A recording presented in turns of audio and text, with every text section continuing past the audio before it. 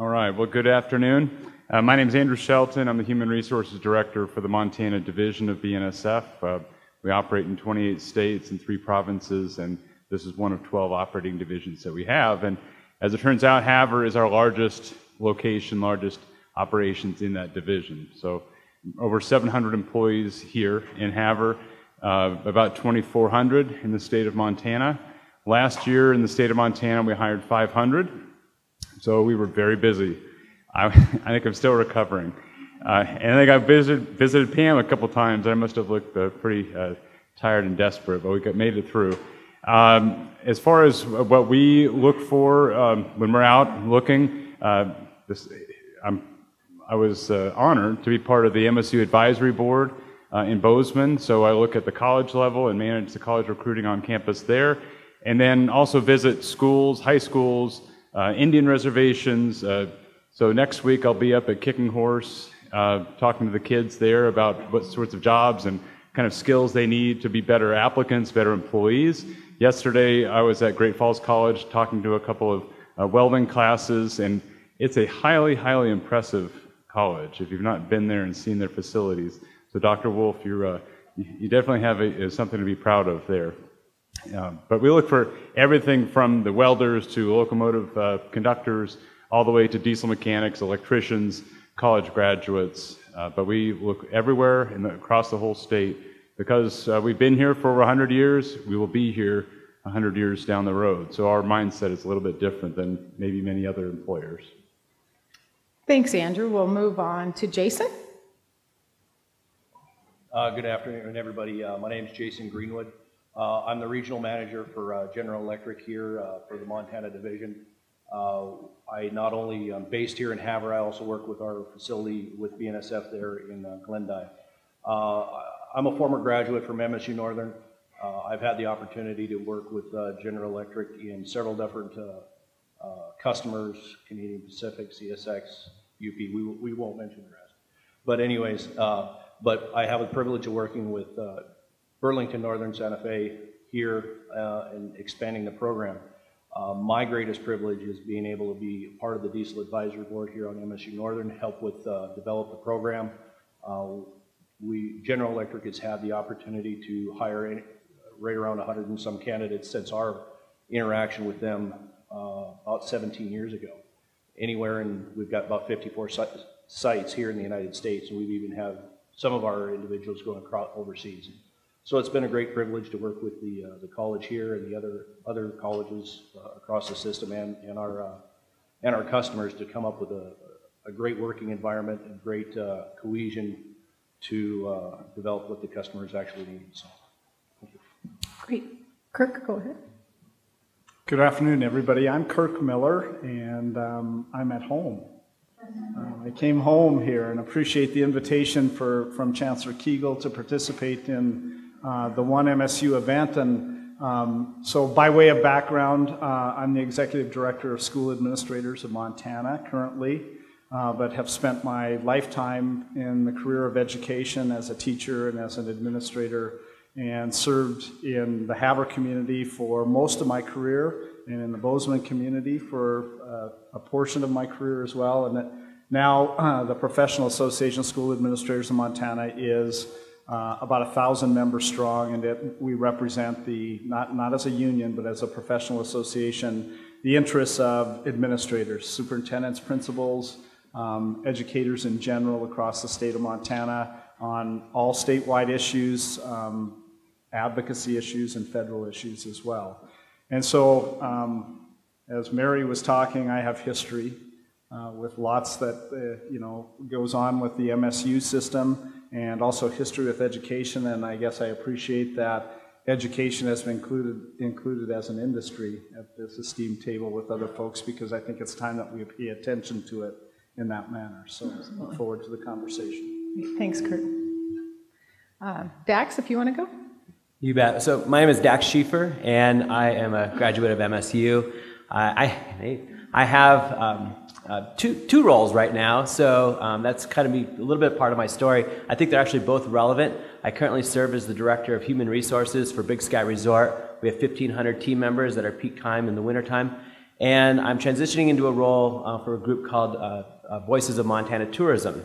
Um, so I'll be representing um, across the state um, all the um, areas of tourism and, and how we can um, and how that positively impacts the state.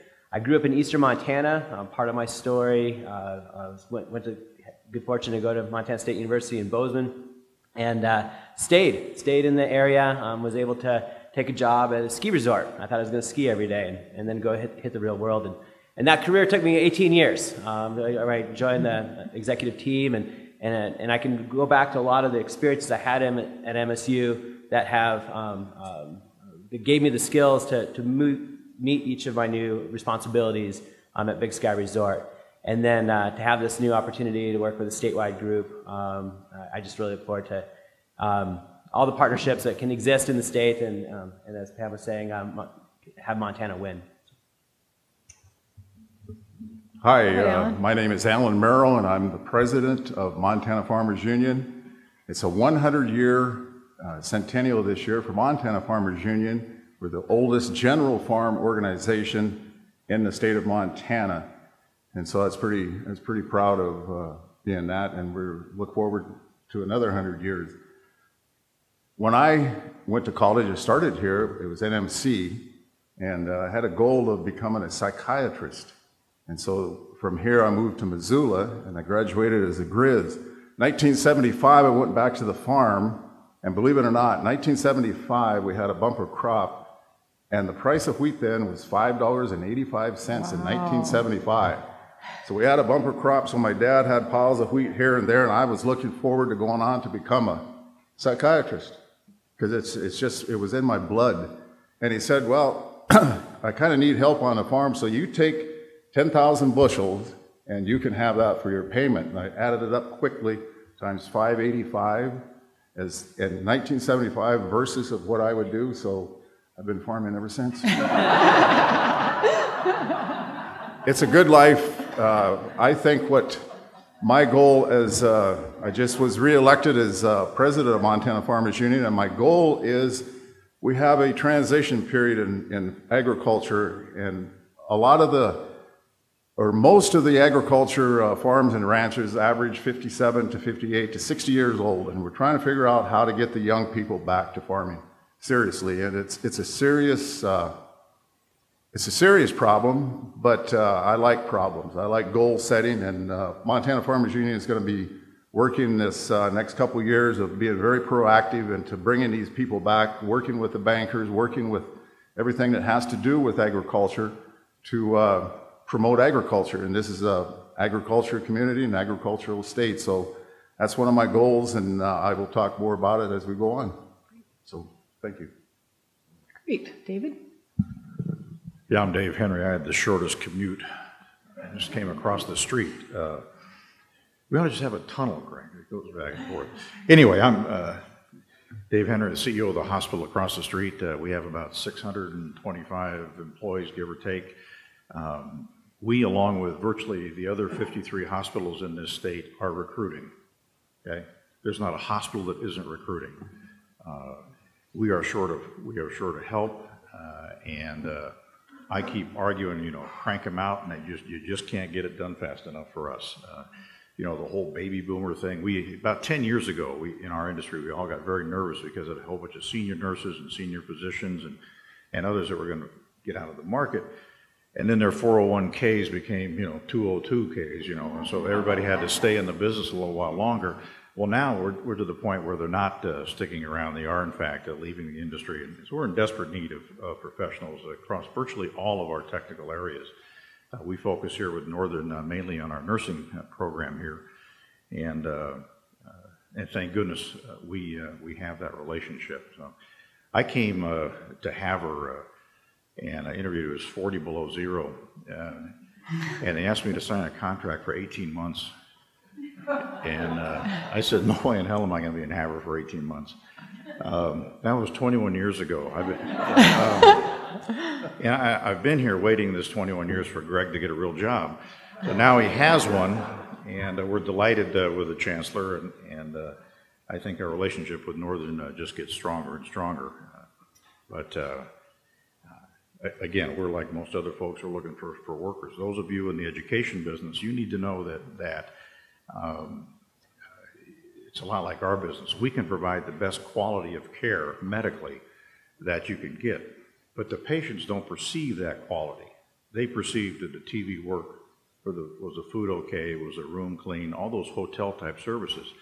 You may put out a product that is extremely brilliant, but if they don't have a work ethic, a customer service attitude, all those other soft skills, they're no good to us. Okay?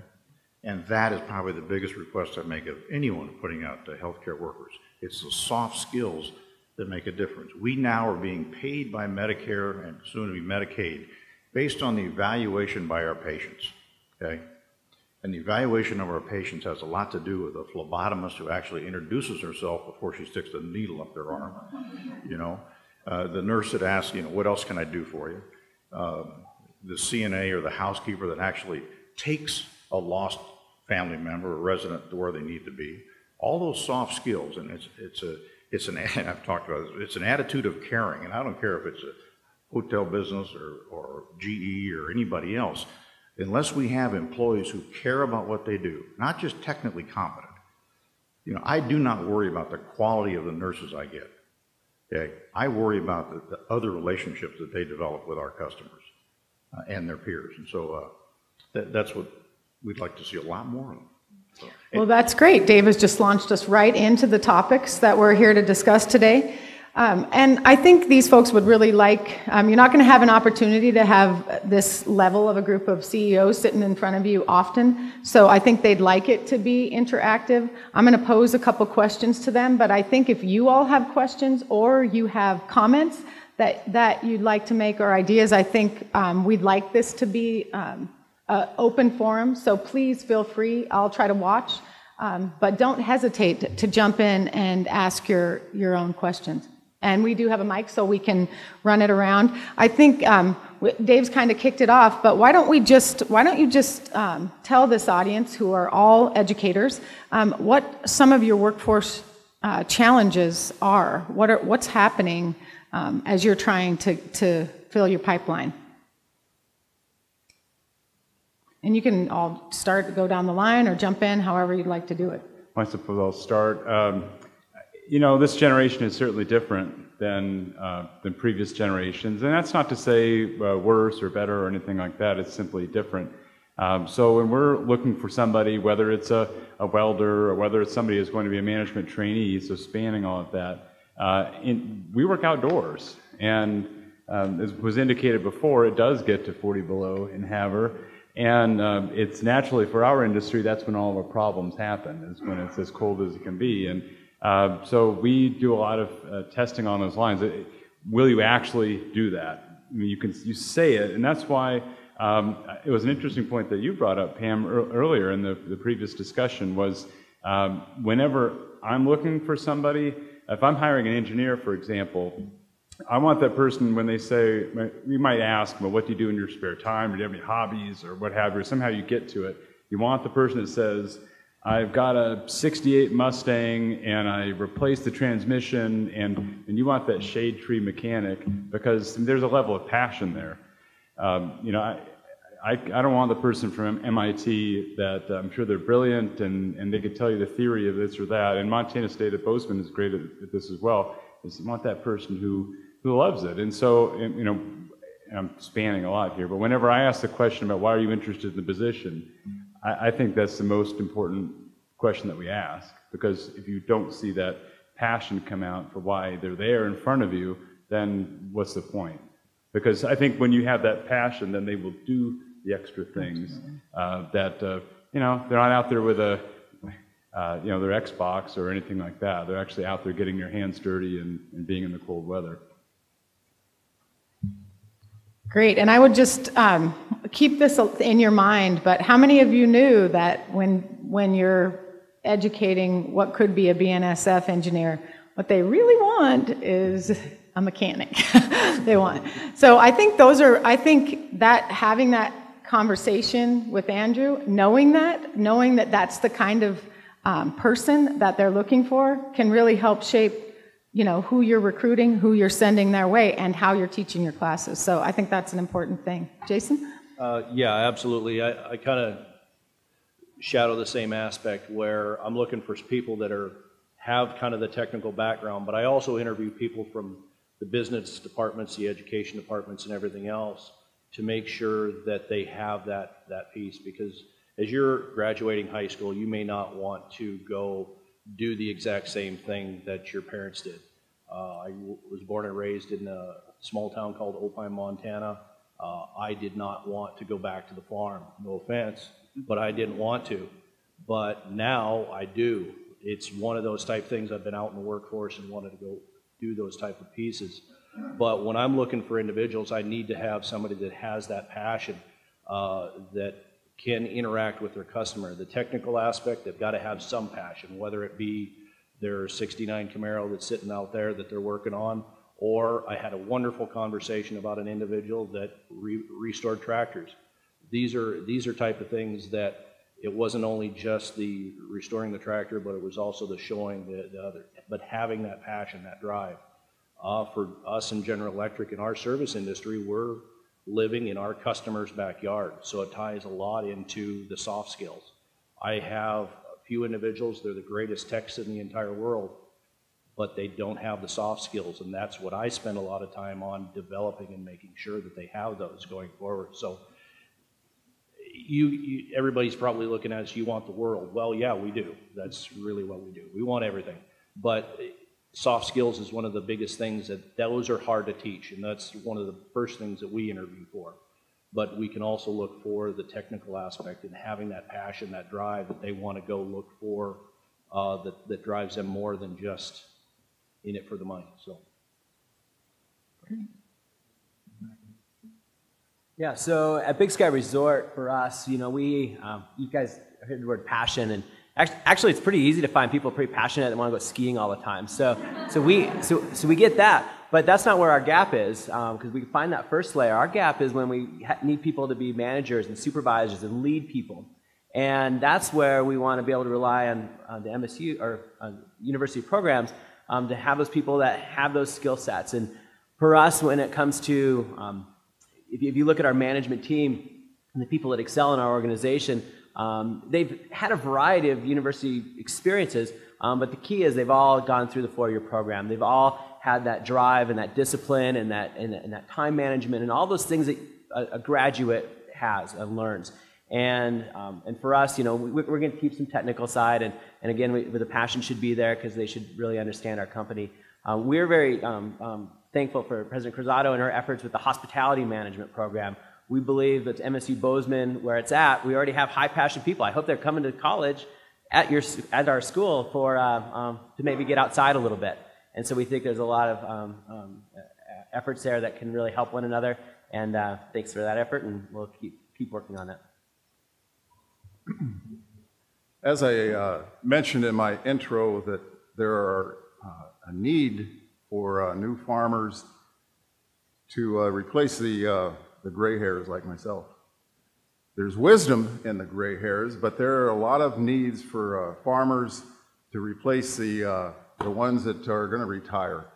And unless you want, I'll be very blunt, unless you want uh, large companies taking over the family farm and farming food that you do not know what's in that food, it's a big concern for Farmers Union and our members. And so we're developing and helping in whatever capacity that Farmers Union can uh, become proactive in, in uh, helping them to transition in uh, how to uh, find land that could be uh, leased, could be rented, could be even, uh, if I had a thousand acres and I wanted some young person to come on, I would say, well, you take this and I'll let you have my machinery and uh, I'll see how it works out. And these kids, these younger people, are so ambitious about turning into agriculture that uh, it's a no-brainer. And so then you could, you know, they could buy it, you know, ease into it. But a lot of people that I know, a lot of the uh, older people that are in farming, they would just as soon sell and go. Well, it depends on who they sell and go to. Uh, Montana is uh, becoming very uh, lack of better words, uh, it's becoming taken over by large corporations that you do not know where the money comes from. And I will mention one of the bigger countries is China, and uh, they can hide their names pretty fast under different corporation. So I'm very proactive, very, uh, I'm very goal-minded that uh, Farmers Union is in, the, is in a proactive program now to help all younger people that want to come on, no matter if they're big, small, what, they, what the idea is to get their hands dirty. It's right down to it. So uh, if I can if I can take a welder, I'm going to take one. If they want to come back to farm, that's that's great to, to do that. So it's a fun occupation. Some of you know the, uh, the Area Health Education Centers, AHEC, and they have done a survey in the last uh, number of months, to a number of uh, organizations focusing mainly on the critical access hospitals, the smaller ones in the state. And I just want to read some of the words that uh, the other administrators identified as key objectives uh, in their new employees. Professionalism, accountability, communication, ownership, reliability, responsibility, engagement, flexibility, punctuality, and common sense. Okay?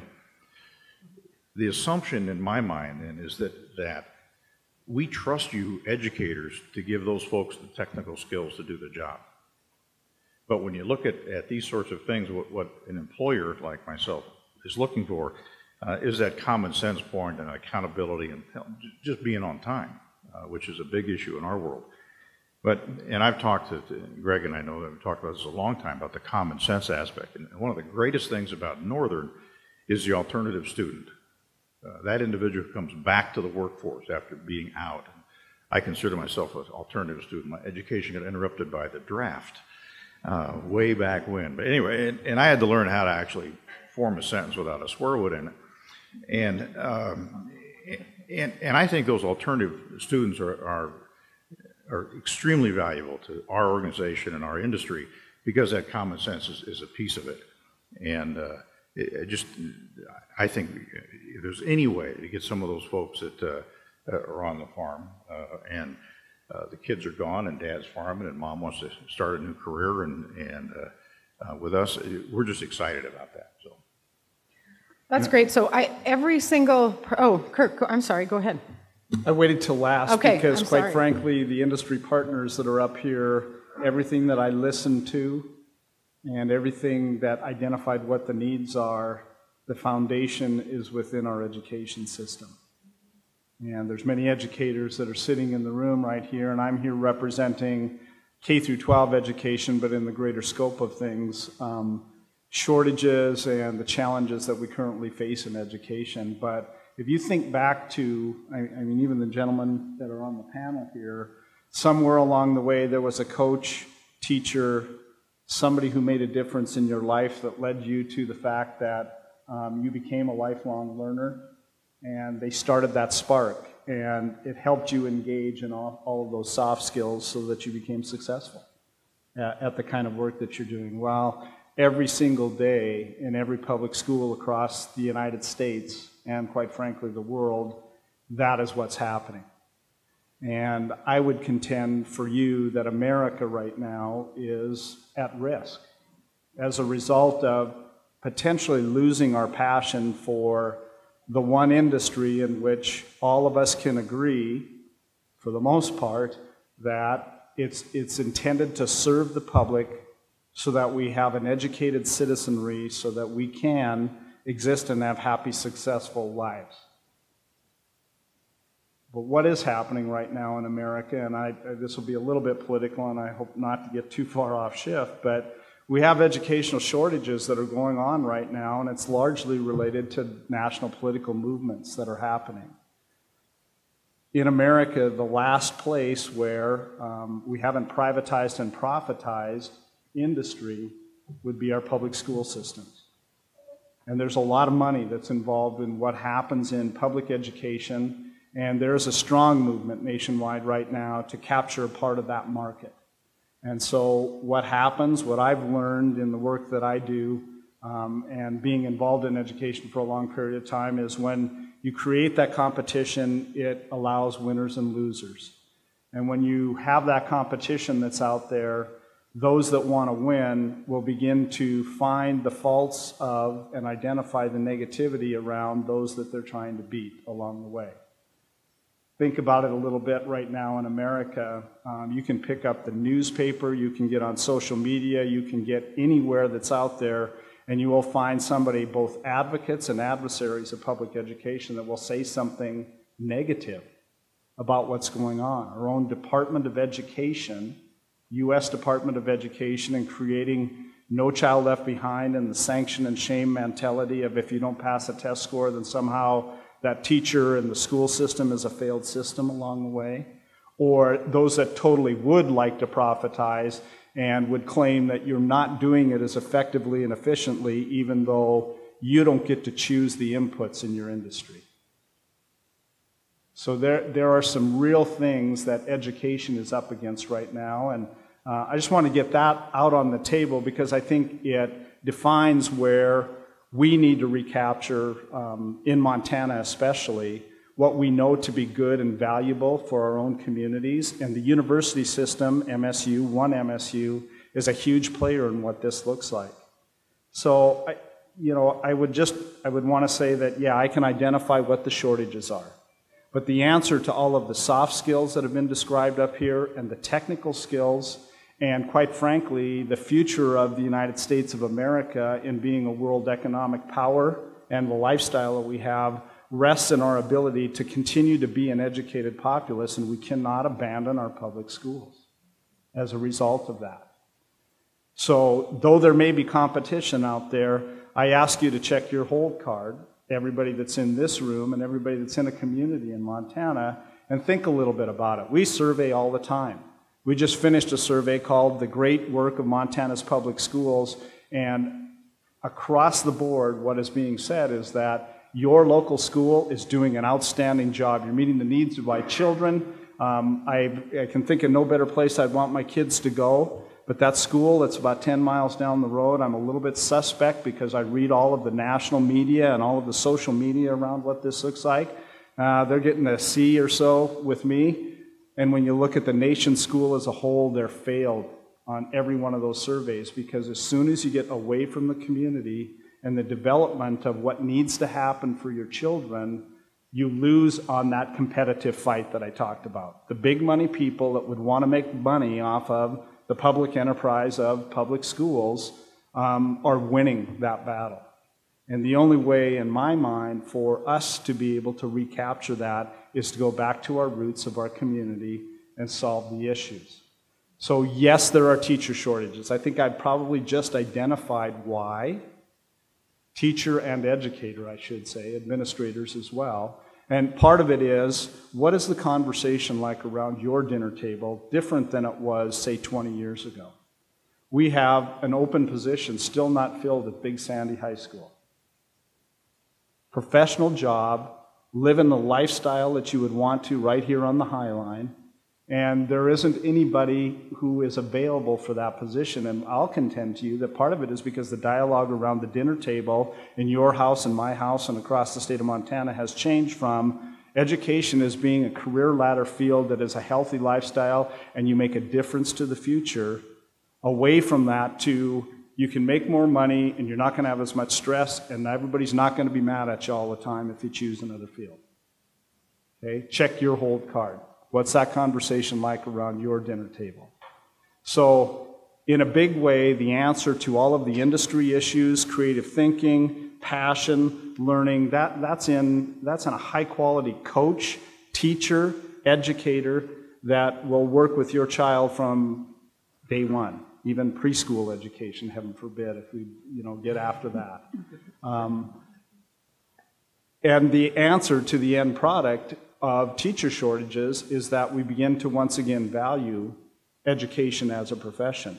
And quite frankly, maybe we should have career tracks starting in about eighth grade that begin having kids think about I could live in Big Sandy, the lifestyle that I love, I could have a professional position if I begin to prepare myself this way.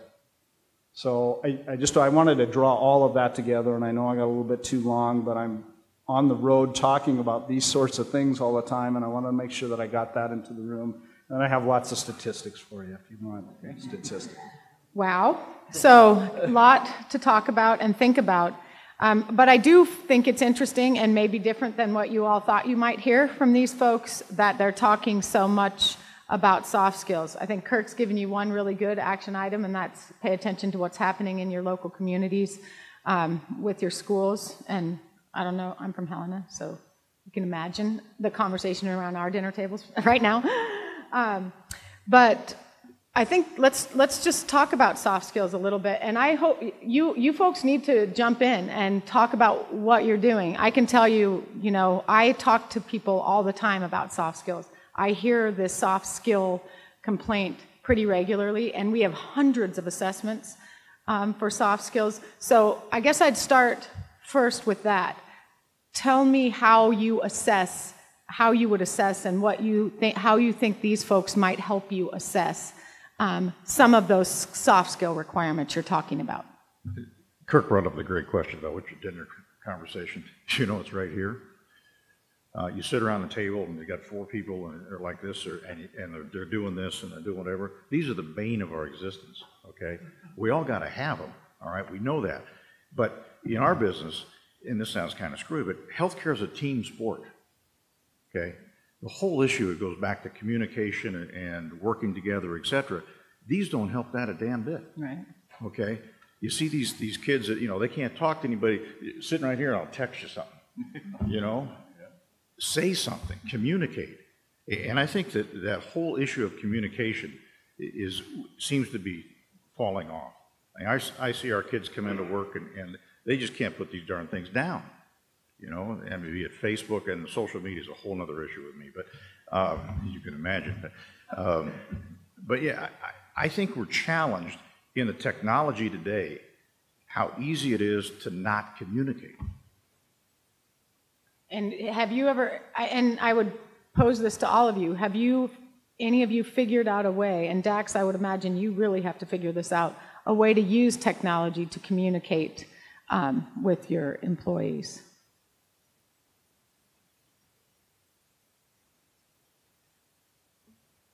So, just as it turns out, our, our workforce um, pipeline generally is a younger um, crowd, and so we're always paying attention to um, the ways that we're going to best communicate with them um, when it comes to training, assessments, um, performance reviews, and um, and so we do that, I guess. I, the um, the story about you know one team and, and, the soft skills, you know, for our company, um, we are really diverse. We have all these different areas that we have to accomplish. it's easy to just imagine sort of a front desk worker, perhaps. but when it comes to you know running a mountain and the engineers and the mechanics and the um, culinary elements and retail. Um, we have to have um, um, um sort of all sorts of skills um, that come together. and we, we just rally around a mission. And you know, we consistently create exceptional experiences for our guests. And that's a required question that you have to buy into if you're going to start and be with our company. Be, and you could be the best mechanic and you could be the best medical trained ski patroller. And if you're not into creating a great experience for our guests, you're in the wrong company. And, and we call that out quite often. And, um, and, and that's how we're able to, to work with that. I would, um, um, I, I had the good fortune to listen to Tracy talk a little bit about some of the future of education um, at MSU and, and some of the learning environments, the change of this, this environment to a more integrated learning environment where people are um, engaged with uh, around a, a, a table um, to, to learn versus um, sage on the stage. Is that, did I get that right?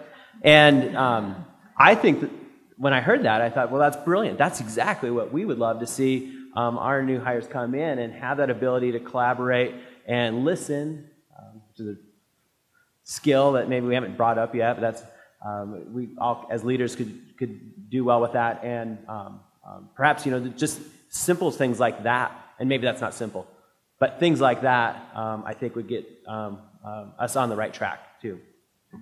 There was a uh, there was a study. There have been a number of studies on this over the years, where for the most effective leaders, emotional intelligence is more important than an IQ, a high IQ. So it almost seems like in our uh, our schools that we ought to be teaching emotional intelligence and having our students you know, read the book or go through this a million different sorts of courses that, that teach it. But I would argue that those students that go through the program over the course of time, their career would have uh, a more highly successful career than those that didn't. Uh, because you can see it, and you, the people that uh, the what they do, that they uh, they've sold so many of these or built so many of these.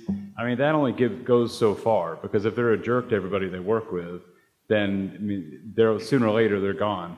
So you, you just can't you can't have it. That causes corrosion in the organization. So you need to have those those soft skills. Um, I know for BNSF, you know, we're very um, very communications oriented in that you know our, our, locomotives are always in contact and everybody has page uh, not pagers but they get paged on their phones and so forth um, so very high tech oriented I think part of it is we have to live with it. It's not going away, and it's a matter of how do you manage it. So we have it. We also have strict rules. You can't use it while you're driving, and um, which is kind of hard. I know for our management trainees, we have to teach them things like, you know, while you're in Fort Worth or home office, and I'm based in Billings, by the way. Um, they're in Fort Worth and they're in training, and it's like, okay, you don't get the company's not going to pay for you to go to Starbucks every single day on the way to work. And like, we really have to train these these students, you know, that they have to come in and go to work, and you know, there's a coffee pot. You just get your coffee at the. Co- so yeah. it's amazing how old you feel quickly because the, how rapid change is, is happening. Um, so, and it was funny to hear the, the comment, the, the discussion around the dining room table is we have a three-year-old, so really it's more a matter of whether we're going to watch My Little yeah. Pony or or you're going to have a discussion at all, or something like exactly. well, um, I I'd like to take just a minute, um, and and I will give you. We just hosted uh, week two weeks ago now a big workforce symposium at MSU, and this issue of cell phones and sort of communicating with millennials came up, so I'll tell you some of the things that happened there. But I would like some response. I know I've had this conversation with Chancellor Kegel and um, Dr. Wolf, so how, how about some responses from you about soft skills and how you might integrate them or do integrate them into your curriculums? Um, yeah, someone's.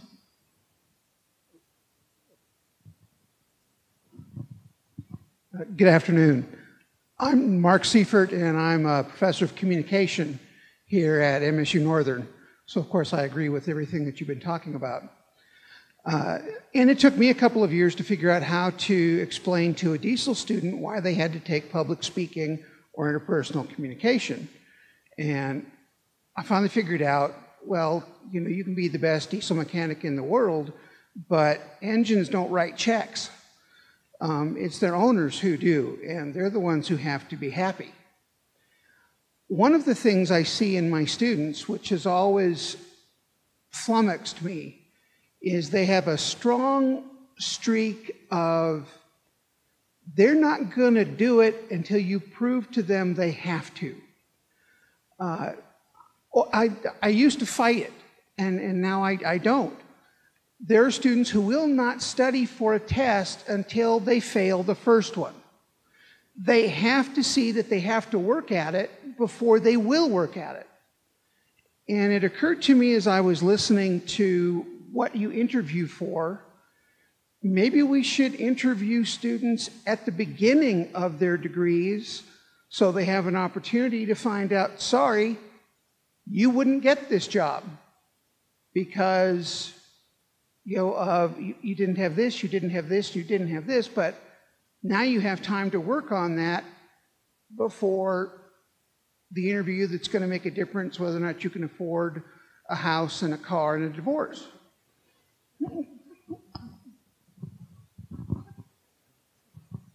I have to, I have to chuckle at that. Sorry. um, one of the dilemmas, and I don't know if I'm going to answer the question, but at the workforce symposium in Bozeman, um, we heard, you know, we've heard teaming, you have to collaborate, work together, and that's very important. And one of the things I really like on our campus are all the soft learning spaces that we have where the faculty and the students are outside of the classroom working together, teaching and learning throughout the whole day, not just in the, you know, in the classroom. And I applaud that, but I um, was just speaking at a conference in Washington, D.C., and it was an industry partner or an industry, industry person from Vermont, and he said one of the things that we're not teaching or allowing for our young people today is that you need to have them fail. because you can work as a team member, but each person has to be accountable for their end result, what they're responsible for. And if they're not willing to take a risk, and with taking a risk comes failure, and that's how you learn. And I think that he was saying that as a society, we have become failure adverse. So I'd just like to hear some comments on that.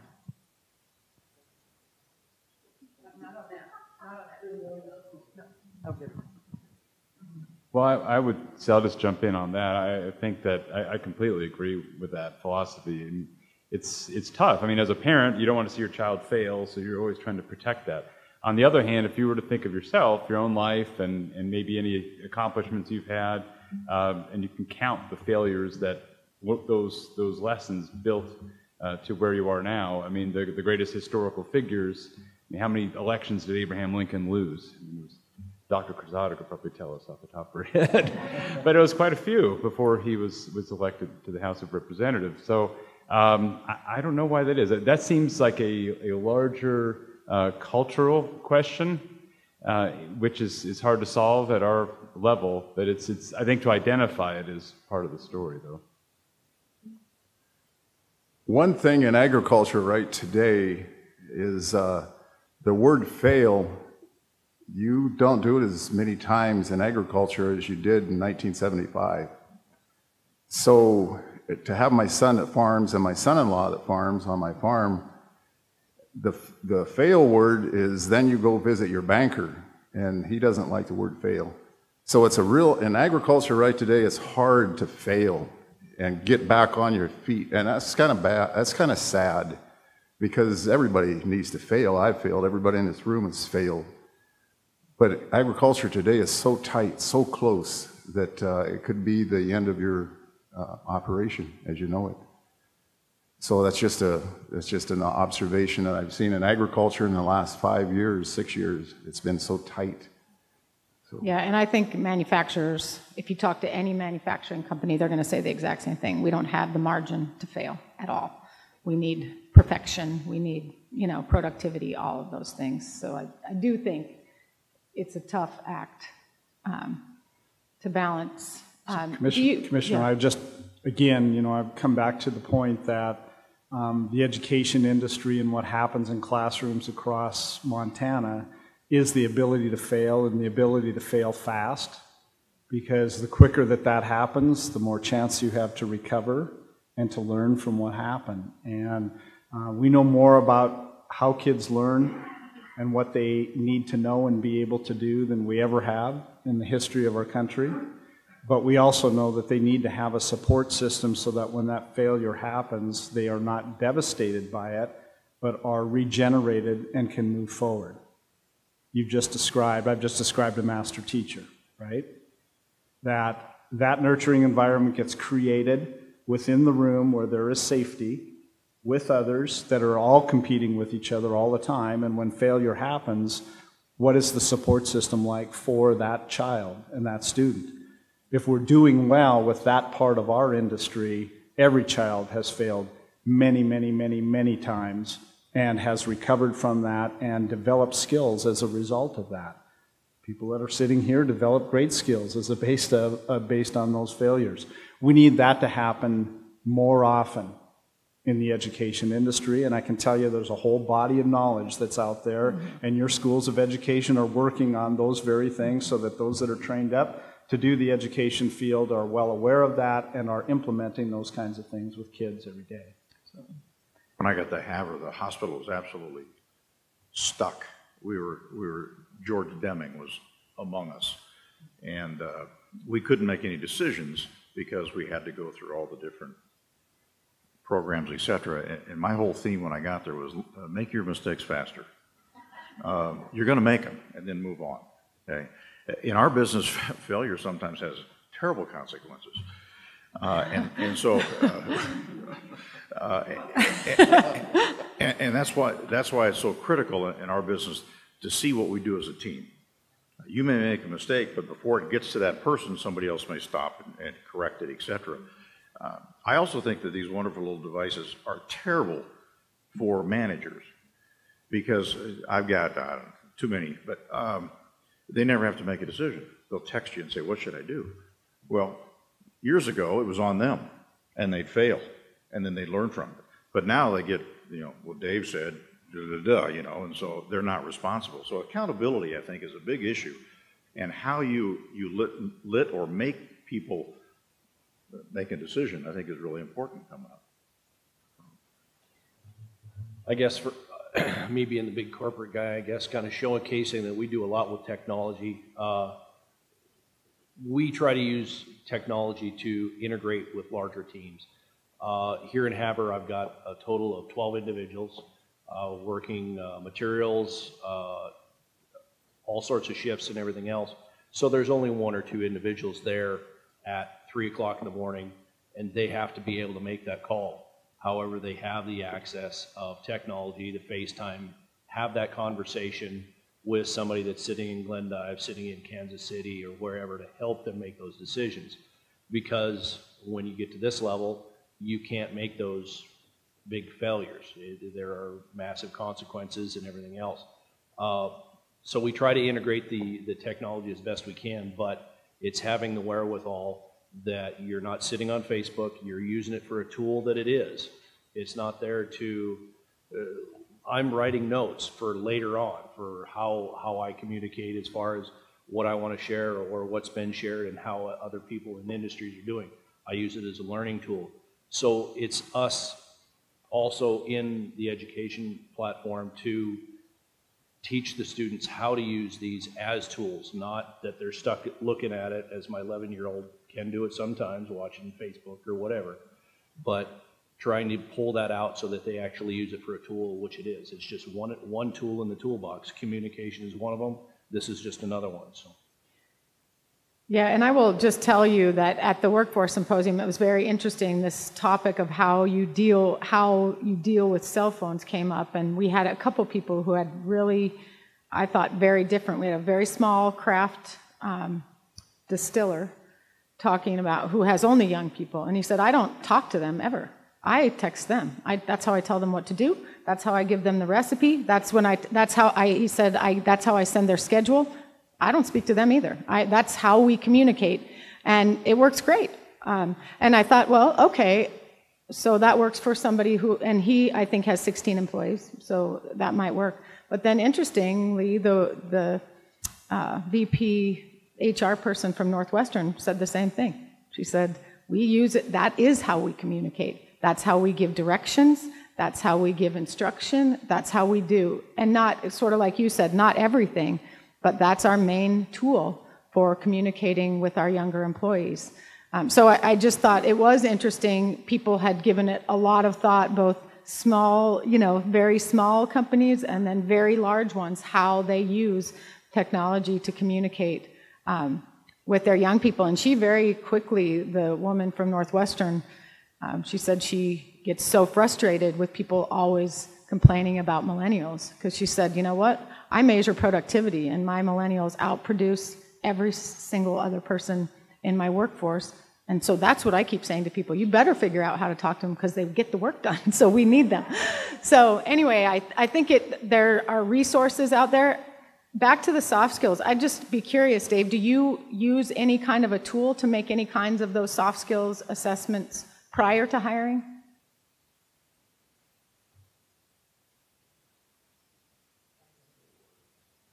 We always do it uh, in some of our other areas. We, we, use Skype a lot more than we used to. Um, we used to fly physicians out from the East Coast and say, oh my God, what do we do when they got there? Uh, now, Skype is a great technology for us because we, we have interview, two or three interviews with Skype before they even come to interview. I think that, that when it comes down to hiring, uh, you know, some of Mary's nurses or whatever, fortunately for us, we see them for a couple of years as, as they as they come through and we get to see them work, at, you know, on the job and, and, go through it that way.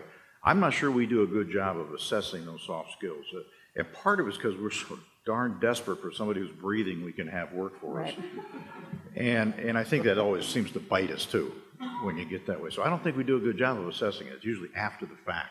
Would, would that be something helpful that these folks could do for you is to sort of look and find, or, or I could do, I mean, the Department of Labor through the job services could do is maybe find some of those tools. The comment by our communicator was excellent. You know, everyone should have to take a public speaking course. You know, uh, here's a match, talk about it for three minutes or whatever you may use. I, I, I think those, those kinds of things where you force these kids, if I can use that, into communicating. And I think that, that the more things like that, uh, where uh, they have to talk and they have to think and, and uh, form sentences, I, I, think is a blessing. And, and I don't disagree, but these folks are also facing a, a whole host of people telling them that they need to be quicker, they need to not be making students take classes and paper classes that don't lead them directly. So they, they really are in a conundrum, I think, um, and you all should speak up, of trying to respond to parents and industry telling them to be fast and be quick and not put these students through things that aren't immediate. So having employers to come to the legislature and say to them, we, we want our students taking public speaking, and these are critical thinking skills that are absolutely essential. Don't just train to specific skills. I think they would all tell you, uh, Chancellor, help me out here, but I think they'd tell you that would be incredibly helpful um, to hear from from industry folks such as yourselves. You know, I think, and I don't know if it was it was one of the coaches here at Northern or at the, the volleyball coach at the high school, but when the, the girls get on the bus, they give their phone to the coach. Okay, and they don't get to have the, their phones on the drive to wherever they're going to go play. And the girls, why not talk to each other? Okay, simple sort of thing like that. Mm-hmm. The, the, more of that, that that we can have happen. Uh, go back to Kirk's situation, how many team sports are required going through high school anymore? You know, we always have PE class and you have to learn how to play on a nine man softball team. I'm not sure we have to do that anymore. So it's easy to be that individual. The problem in our business, you can't work as an individual. It does not compute in our world. That's great. You would have been a great panelist at last week's discussion about critical thinking and liberal arts education. You would have been a perfect um, how about you, Andrew? Because I know we've had this conversation about the kinds of assessments you use to hire students. Well, uh, on back to uh, the, I think technology is a supplement. I think it's a, it's a fantastic tool. It's a great efficiency tool, um, and it's certainly becoming more and more common and, and uh, needed, really and it's necessary uh, to be efficient in our, our workplaces. That said, I, it does not take the place of the ability to speak because at the end, it's whatever develops, we're still people. We're still people, still emotional creatures, and we need validation, and we need goals, and we need those sorts of things. And you know, it's just not going to come across in a text. And, and so I, I, I think that I think it's always going to be a tool. And I think those organizations that become over reliant on it will ultimately fail in the people area because of that. Just my opinion. As far as um, tests that we have for our management trainees that we bring in, and these are anything from uh, business students to various types of engineers and everything in between. Um, you know, we do uh, tests, you know, Watson Glaser. Um, I know, I think we do Myers Briggs and kind of all those the classic ones. And and we do sometimes not hire somebody because of their test results. And part of that is soft skills, is getting on with people, it's critical thinking. Um, and we're fortunate. We, we, we have the ability to say no to people. We, we can find people. Um, I, I, know that the colleagues in human resources in other companies that are, say, smaller or um, that are simply smaller, they don't have the resources. It's, it must be difficult to, to test for it because at some point you need the people, you just need people. Mm-hmm. So, like Dave, who doesn't, even if he could give the assessments, he might still have to hire them anyway because well, he needs them. I, I can I, it's probably not the MSU discussion, but you know, we use some predictive analysis, and you can kind of scope and see what somebody's skill set will be, and, and we might have to hire them, but then it gives us the first chance to have some performance reviews, and, and we know some areas that we're going to be able to work with if, if they're not the first, if that's not their, their strength. So uh, my question to you all, and I think these these folks would wonder: Do you think that it's more your responsibility to worry about those kinds of assessments, or do you think these folks should be um, doing some of that assessment and passing that information on with the students? Well, I, I would say, um, connected to that, Uh, I have the opportunity, I've been to all the, the campuses and spoken to students and uh, recruited to the different uh, schools, but at, at MSU Bozeman, uh, so in the course of my career, I've recruited all across the country. And I would say that of all the universities, um, I mean, I don't know that I've been to one that's as well organized as MSU Bozeman when it comes to career services and preparing students to be uh, great candidates. So not just great students, which they do, and I think, I'm sure MSU Northern does the same thing. But they, I've spoken to classes there that the class was about being a, a better candidate. So, um, you know, what to wear and the resume and how to interview with the common interview questions and those kinds of things. So when you go to MSU Bozeman, um, when you, you're there, you meet a student, you interview with a student, um, you, you go there with two jobs, you come away wanting 10 of them. Okay. There's it's just that well prepared. Um, so to whatever extent that all of you have influence on that, um, how can you make your, your students a better candidate that way? So whether it's communication skills or the way they dress, the way they uh, they treat one another. On and, I mean, everybody has their their I guess uh, shortcomings, but that's what I would say. Is however you can make them a better candidate is I mean that's going to give them the edge over other other people. So when there are situations where it's a competitive job situation, that will give them the edge. And and, and so if, if those of you connected to career services, I mean, emulate what Bozeman is doing. It's really amazing. Any other, any of you, any other of you have thoughts for, for the role of these folks? Yeah, well, I would just mention that, and I think it came up at one other point, which was, um, and I thought it was great when I was a student, that um, the encouragement of engagement um, outside of the classroom and giving that really well-rounded um, op- I mean, educational opportunity. And I think that would not only serve um, the industry um, when you have the students graduate, but it's going to serve your institution well too, because they're going to be that much more apt to graduate, I, I, suspect there's stats that would support that. Um, so, um, you know, all those opportunities that you can do that are outside the classroom, and uh, I, I had a great experience doing that. So, yeah, back on whose job it is, I think it's everybody's job. Uh, heck, it's their parents' job. Okay, I mean, just everybody needs to get involved with, with those kinds of talents that, that uh, kids need, and all of us still need uh, in our job. So. Uh, which, which, brings me to the wonderful thing of, of, the social media part when you talk about hiring folks. Uh, some folks really don't understand how all their information is accessible to an employer. And um, we'll get somebody who applies for a job. I had for LinkedIn, and went, are you kidding me? You know, uh, we really didn't need to see that picture or whatever it was. And but even even the, the, the physicians I've got on, on staff today don't understand just because they put something on Facebook to their friends doesn't mean that their friend's friend is a friend. And we've been bitten more than once uh, by the, the, misuse, if you will, of social media. And from an employer standpoint, you of say, boy, that, that judgment's not very good. You know, so, yeah. Yeah, and I, I will tell you that every employment specialist in a job service office around the state, and they have some hilarious stories like that of people with emails that are Satan spawn and they want to put that on their resume to send to somebody.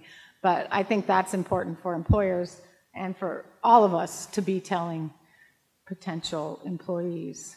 Um, we're, we're about, have about a half an hour left, and I know some of you have some really great innovative partnerships going with, um, with some of the two and four year institutions. So let's take a quick um, foray down that road and see, and you can talk about some of the partnerships you have going with the colleges and might give other folks ideas about potential partnerships. I'll start with, with that. Um, at, at BNSF, we, we take a real integrated approach with um, community relations, government relations, uh, public relations, because it does all weave together. We're, uh, we're, we're, a highly regulated industry we need people. We want people to, um, you know, we block traffic. I mean, there, there's things that we do. We're always going to be around. You can't outsource a railroad, so we're, we're in it for the long term. Uh, so we, when we hire people, we say other companies date, we marry, because we're, we're always going to be around. And so uh, we all uh, take the opportunity to help the communities in which we serve. Um, so Uh, there's a number of us who have been involved with employer advisory boards and classroom visits. Um, and, and one thing that I've seen is that in the institutions where I've gone to speak, is that they, they hear of the value proposition we have as an employer. And then they hear it and they are able to tell their students every time, you need to listen to this. I know benefits mean nothing to you now, but they will mean something very soon. Um, and so the instructors, because they have heard your presentation and they, they know those things, can help sell for you. Um, it's not an expectation, that's a, that's a luxury for us, but really more than that, it's a partnership because you want your students to get uh, good jobs and careers, and we're there to help provide it. And, um, and so, in that respect, and kind of the ultimate partnership is being worked on right here, Dr. Kegel is well aware of, is that uh, we have a curriculum where we teach our uh, people that are becoming diesel mechanics or becoming diesel electricians. Uh, so, right here in Havre, um, they, we have our own curriculum, and it's mainly at a community college near Kansas City and MSU Northern and BNSF and this uh, community college are in discussions right now for this to become the fourth location in the country where the students will take the take the classes here and the classes will be the same curriculum as what we instruct students employees on so that when they can take the test they don't uh, they can actually hire on and be journeymen out of the gate so instead of waiting a certain number of hours, they can take the test, but they're able to pass it because of the curriculum. So we've taken a very active approach that way, and I would say over the last five years, um, it's really pretty incredible to see the outreach that we have. And, and at the same time, just in Montana, um, so many people have just come to me, and I'm one of a number within the company. Um, they'll say, you know, we've always seen the railroad as this big, nameless, faceless thing out there that blocks traffic. Um, and so then they say, okay, well, now we know you, and you know, we know who to call, and you can just kind of see the guard come down. So we've definitely taken a more partnership approach, and that's helped in our, our hiring efforts and just the, the communication efforts. And that's this will be a long-term investment that will pay off for us and the students and institutions. Do you have anything to add to that partnership?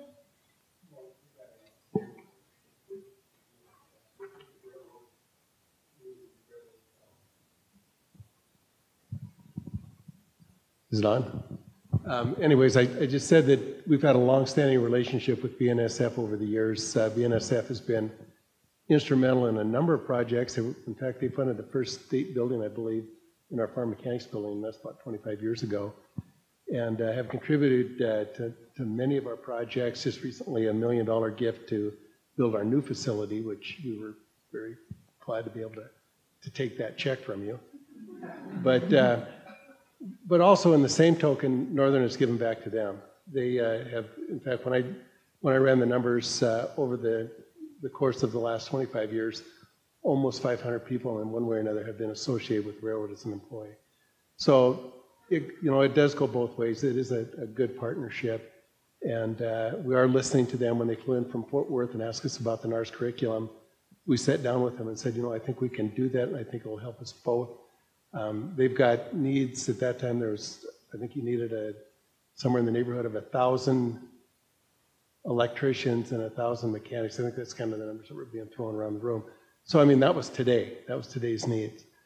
So we responded, um, and they helped, and that's that. You can't beat that as a partnership. Jason, I think you have something going on too, don't you? Yeah. Uh, we so when GE kind of first came back to, well, came to Havre, uh, help open up the, the Havre diesel shop with BNSF, brought in a few locomotives. Uh, the actual uh, shop manager at the time came up to the college and started expanding, seeing the, the, the great opportunity here. So over the last 17, 18 years, they've had a great opportunity to uh, expand on that. We've donated equipment that uh, uh, that gives the students some actual hands-on, help them understand what they're actually going to be looking at when they start look, working on a locomotive. Uh, being able to update that technology has been my privilege uh, when I got here about four years ago is to expand that even further. I mean, the emission compliance that uh, the EPA has set on the railroads has, has put a lot of push on, on us as manufacturers and uh, the railroads as maintainers of that, uh, of that equipment. So giving the, the students latest technology to be able to really understand how it works, how that's going to affects their uh, work practices, uh, that's been a, a, great benefit. And in, addition, we're also working with uh, trying to develop part of that NARS curriculum to bring it up here. and then also GE has a certification process that we also have that we're trying to develop uh, as it's a, a full month-long type training course that we send our uh, staff back to so they know how to help instruct troubleshooting processes, electrical, uh, uh pro, uh, electrical troubleshooting, uh, the different 26 different microprocessors that are on a locomotive and how they communicate with within each other. It's not just a manual four-speed transmission that you're working on anymore. It's actual ArcNet, Ethernet connections, fiber optics that are in these locomotives, and it's just not, you're not going to find that in your, uh, your 69 Chevy. So it's, those are things that we're trying to partnership and, and, work with them. I also get the great privilege of coming in and, and working with some of the instructors because I am local, have the opportunity to uh, showcase to the students that new technology, the tier three, the tier four stuff that we have, uh, being able to bring students out to the diesel shop so they can see the latest and greatest uh, technology, the Tier 4 stuff, and then the intern program that we have. We have anywhere between, uh, during the fall and spring, I have anywhere between five to seven in, in interns that come from Havre, go uh, to the college, or go to the, the shop and actually work there. And then during the summertime, we offer anywhere between 15 to 25 internships around the countryside. Gives them an opportunity to uh, expand their knowledge base, learn more of the railroad industry, because it is that how do you get into it? I hear that a lot is how do you get into the railroad industry uh, and working with the communities to be able to do that and, and having a face uh, of what GE is. I, will I'll admit, when I hired on with GE, uh, they said, oh, you get this great benefit of, of being able to purchase some of their products. I said, well, I can't buy a locomotive, and what do I need with a thousand light bulbs? So it really wasn't one of those things that I was looking at, but now being able to share my experience and with other students, uh, it's kind of taken some of those barriers down also. So does a certificate, do they earn the certificate, your certificate here? They, yes, they, they can work, earn that certificate. So there's anywhere between 52 to 55 online training programs uh, that they work on, and then there's 75 what we call OJTs on the job training okay. programs, where they actually show me how you would change that water pump, how would you troubleshoot this ArcNet issues. So I get into some of the real detail on that. But uh, we help them develop the, the asset management type skills. It's not just fixing this one part at this one point in time. It's how do you look at the trend on 4,000 locomotives that you're having an issue with this water pump or this part, particular part. So trying to get a broader picture. Yeah, you would just be one of the very few industries that has a credential that, that might mean something somewhere else. um, so it's always important to bring them up because we're looking for them. We're, and, you know, it's another thing that we hear talked about. And then when we say what credential is meaningful, it's nice to hear people who have them and they know what they mean and they know what that means when you see it. So um, Dave, I'd be interested in your collaboration um, with the college and, and how you rely on them for your workforce. Well, it's not just us, but it's our industry. Uh, is we'd be in desperate shape if we, all of us didn't have some sort of relationship with schools, uh, not only for nurses, but you know, lab techs, radiologists, uh, radiology techs, uh, pharmacists, et cetera. So uh, those, all of us have some sort of relationship where we bring in students and they, you know, they work with us, and, and uh, hopefully we somebody comes to town, we get them in debt, and they stay, and that sort of stuff. But um, uh, you know, one of the things that I think that from a university standpoint, and also from all of our standpoint, is to understand how fragile these partnerships are. Okay, uh, we may have a great relationship with Greg today. Okay, tomorrow it may not be. And, and that's because people change, issues change, professors change, I change, whatever it may be. And so then how do you develop these partnerships that have staying ability? Okay, and I think with the technical components that you guys require, some of the stuff I require, that's a lot easier uh, because we have certain things we've got to have. But I think from the university system, I, I think it's real, real important to understand that the relationships with folks who, you give them a million bucks? Jesus, anyway, the folks that actually contribute to you. I mean, th- that relationship is, is so critical to, to maintain, and it goes back to soft skills, like it or not. And so uh, that's just one of the things that we do. But, but we could not survive without the relationship we have with the different universities across the state and, and others. So it just. It, But like, how many of, of Havre's nursing students do you um, let, I don't know what they call them, are they residencies, practicums, I don't know. clinicals? What are You know, they? They can tell better than I can. We, we have the first Yeah. year students come through, and I think we got them at the care center, and then second year students come into the hospital different, different ways, and, and, uh, we've got a thing, you know, I think we have eleven nurses now that, that we've given scholarships to, and they've got to come to work for us, or we take their first child. Um, And so it's, it's, uh, but those are the kinds of things that most organizations like ourselves do. We- We do whatever we can to get them. I know, and I, but I, I tell you this because in healthcare, it's just the way it's done. But what that is, is you're just providing meaningful on-the-job training. And unfortunately, that isn't what every industry does. Um, it, it was interesting for us to have conversations with healthcare about apprenticeship because they said, well, that doesn't mean anything to us. For a long time. For a long time, they'd say, no, I don't understand how that relates to us.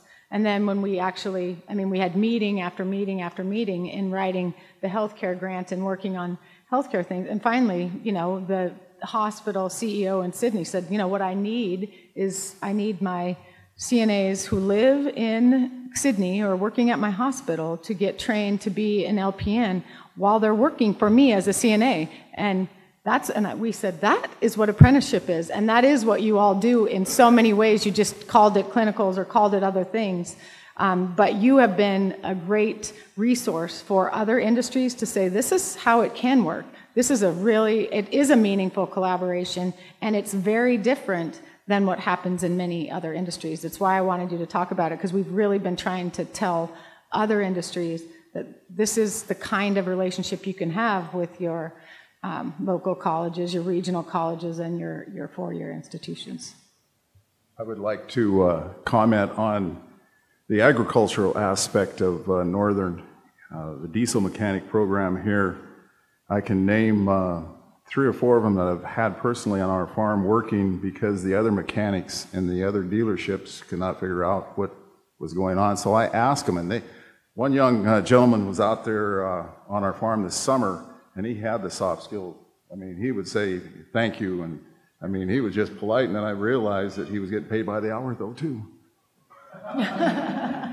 but anyway, uh, the welders, I just want to uh, comment on the welders that have come out of uh, Northern that are farmers, and believe it or not, are Farmers Union members, which is a plus.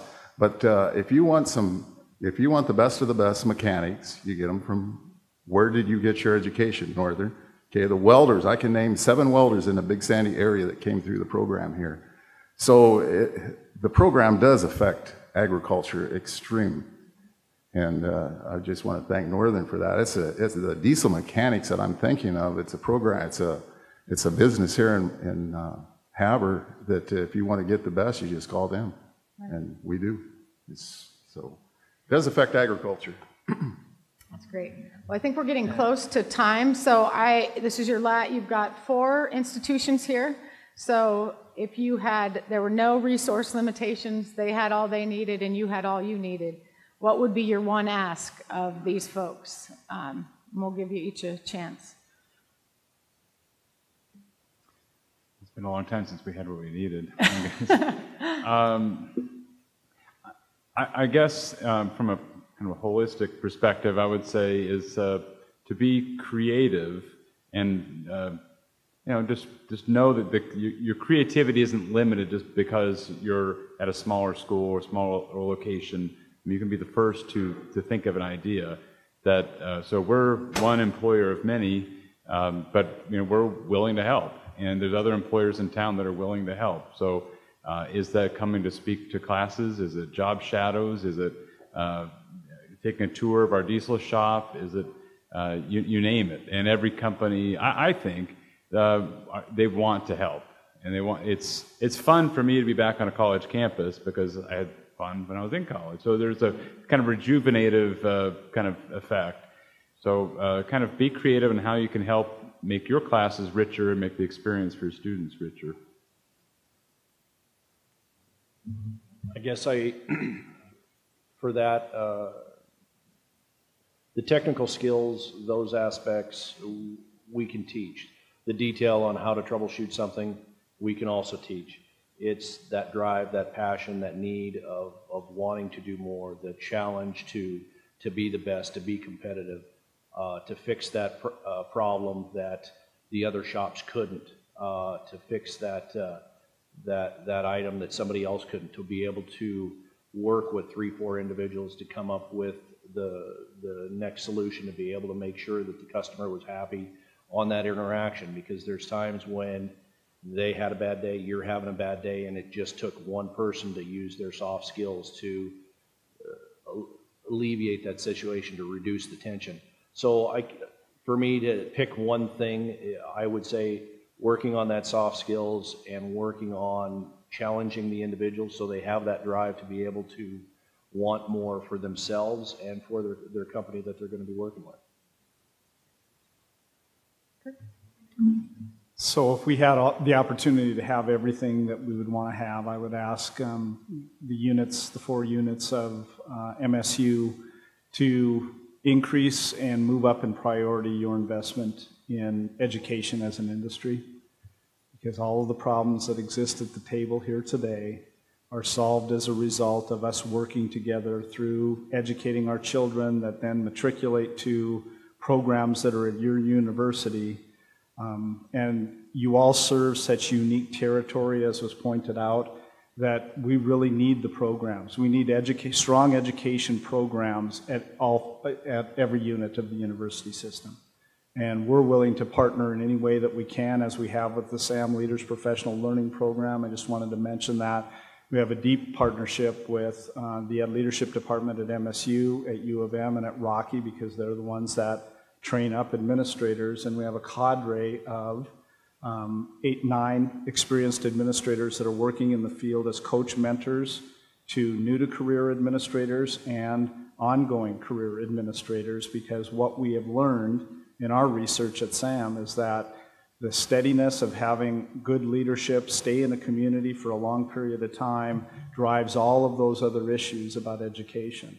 And so even the Department of Administration has made an investment in that, as have many private businesses, and I'll be hitting each of you guys up because that's part of what I do in my job now, to continue investing in a program like that because it is the coach mentoring embedded into the environment that we know makes the biggest difference along the way with soft skills and technical skills so that you have a net when the fail fast issue that we've talked about is available to you We've done that at SAM, and we appreciate the partnership.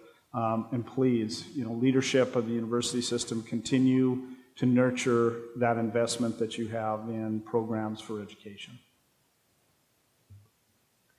You know, I would probably just go into your story about um, Washington Company and, and the communication, um, and things are changing, and for all the units to really be communicating with their communities, finding out what's changing.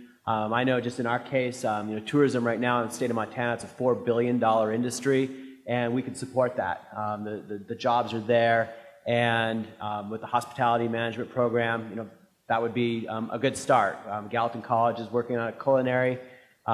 that's another area. So we can uh, have these partnerships. I'm, I was really encouraged with the apprenticeship, so I got to really figure out who to talk to about that one because we want to, that, that would be something that um, a partnership that could really work well for us. But um, it just gets back to that, um, you know, it's not just the, you know, it's not only the strong that survive, it's the adaptable that survive. And, and, and they're going to be the strongest um, at the end. And, uh, and for us to um, continue to, on this path, I think uh, having some flexibility, which you guys are in academia, flexibility, right? That's, right? right? Is that no?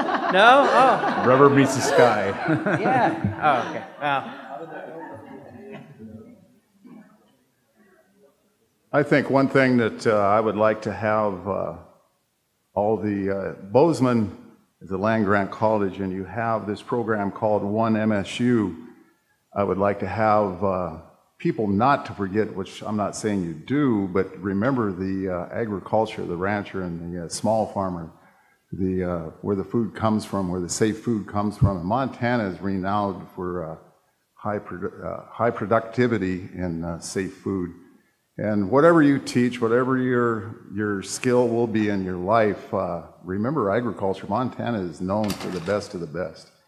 So that's what I'd like to pass on. Just keep up the good work here in Northern. So We've talked about a lot of things that we need in our industry. One of the biggest challenges we have, which we should throw on you, is what are we going to need? Okay, how do you forecast ahead what we need? Uh, you know, five, ten years ago, we needed pharmacists. You know, now they're coming out of our ears. Okay. Uh, physical therapists now, speech therapists, we can't find for love or money. Okay, so then now you guys are cranking up, but we're behind that curve. I have no idea how you do that, but but that's our biggest our biggest challenge is is how collectively do we anticipate going forward where our shortcomings are going to be, and uh, if we can figure out a way to do that, we need to patent it. But we seem to always be playing catch up. That's tough. Well, and I, I, think, I don't know if you heard me talk, but we, we are starting some, I think, meaningful collaboration to use job projections, occupational projections, and then use you all um, because a lot of our data comes down from national data. So we really do need to join up with industry sectors and, and be able to talk through some of that nation, national data. But because we're so small here, we almost can predict to the 100 people the, the level of uh, need for the next decade. So we just need to be doing it and then using that data to make some of our decisions. And I think you're going to see a lot more of that coming from, from both our systems um, in the very near future. So, any last minute thoughts from any of you? Otherwise, let's thank these gentlemen for spending their day with us.